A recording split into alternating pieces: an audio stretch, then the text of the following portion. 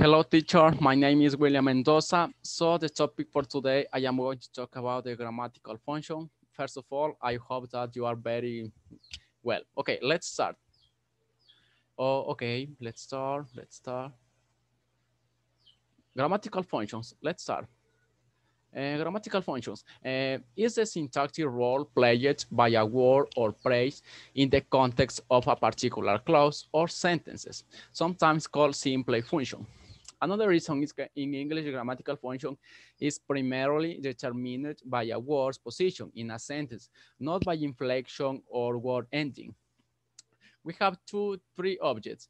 We have three direct objects, indirect objects, and object or preposition, also called oblique object. Okay, and the direct object, the thing being acted on by the verb. For example, Jack caught a fish, where fish is the direct object. And the indirect object is the beneficiary of the action. Give her the fish, okay, where her is the indirect object. And the object of preposition cook without salt. Object of preposition is the noun or pronoun governed by a preposition where the salt is an object.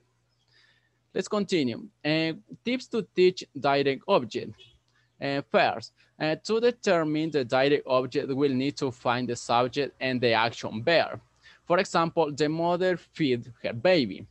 Also, also, we don't forget the direct object that answers the question what or who. For example, David repaired his car. And another tip is the direct object can be pronounced too. For example, don't eat me. I have a wife and kids. And another, on the other hand, the verb could be a praise verb. For example, my cat's recovering from a massive stroke. Okay, tips to teach indirect object. Uh, an indirect object only appears with uh, the transitive verb. For example, Stephanie bought a gift a certificate for mother. To, to, we have to know to identify the indirect object of the sentence, we have to ask ourselves to whom or for whom is the direct object. Um, for example, Julio gives Mary lessons. And to find the indirect object of a sentence, we must first find the direct object. For example, I send Mary some flowers and I send flowers to Mary, where Mary is the direct object, okay? And tips to teach oblique object or object of the preposition.